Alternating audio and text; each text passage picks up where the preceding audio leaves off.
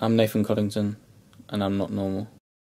I went into complete heart failure at the age of eight, and they did a few more tests and everything. And then when I was 10, they were like, alright, we'll give you a pacemaker, that should help with it.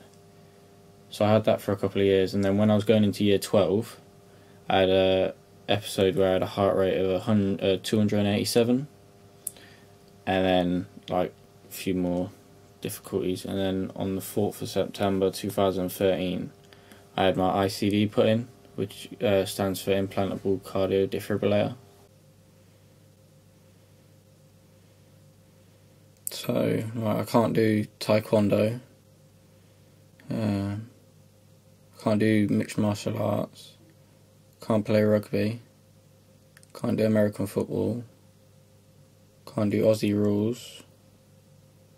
I can't go go karting. Um, laser quest I can't do. I can't do paintballing. I love rugby. I lo- I really enjoy watching it and everything, but like, kind of kills me on the inside that I can't actually do it. So like, I can eat I can eat everything, but I just I choose to be picky. And um, I can't drink any anything with caffeine in, so it's like no Coke, Pepsi, Dr Pepper, energy drinks, stuff like Monster and all that shit.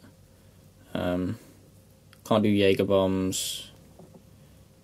Can't drink coffee. I can't have tea either. I do love my music though. Like I can clubs and that are fine if they're not too packed. Can't go into mosh pits and that really pisses me off.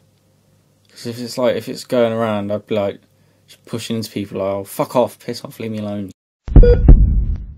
But I, I have a higher chance of dying than more or less every other person.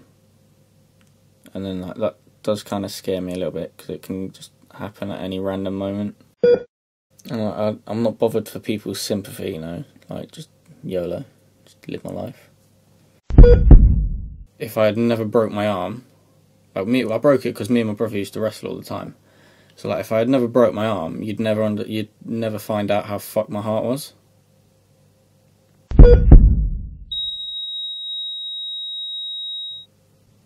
I'm Nathan Coddington.